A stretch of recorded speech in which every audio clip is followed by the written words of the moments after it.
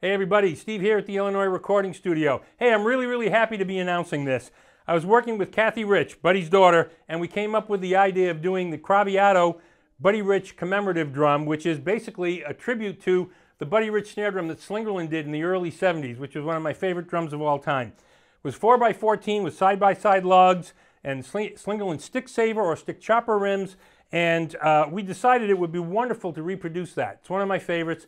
And uh, the ads are in the 71 to 73 catalog. We like the ad so much, uh, Jake actually replicated that ad with these drums and, of course, updated text. So what you have here is a Craviotto, 4.5 by 14 in this case, side-by-side -side lugs, as you can see, Slingerland stick saver rims, and of course solid maple Craviotto shell.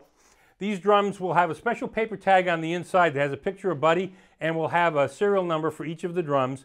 And there will also be a certificate of authenticity that Cathy will provide as well. Uh, you can see the drum has a beautiful Buddy Rich badge on the front. In the same panel on the opposite side is the Craviotto Private Reserve badge. So these drums are going to be uh, limited in edition. There's white marine pearl and chrome over wood, two different two finishes. You can order these directly through me, vintagedrums at AOL.com, and uh, there'll be a little link on the website so you can see all the details about it. And then uh, I'll give you a little sample on the sound on these. Uh, love, uh, love the sh uh, shallow depth. It just projects so great. And uh, of course, I've got one tune a little bit tighter than the other, but we'll just give you a little idea on both of these. Here we go.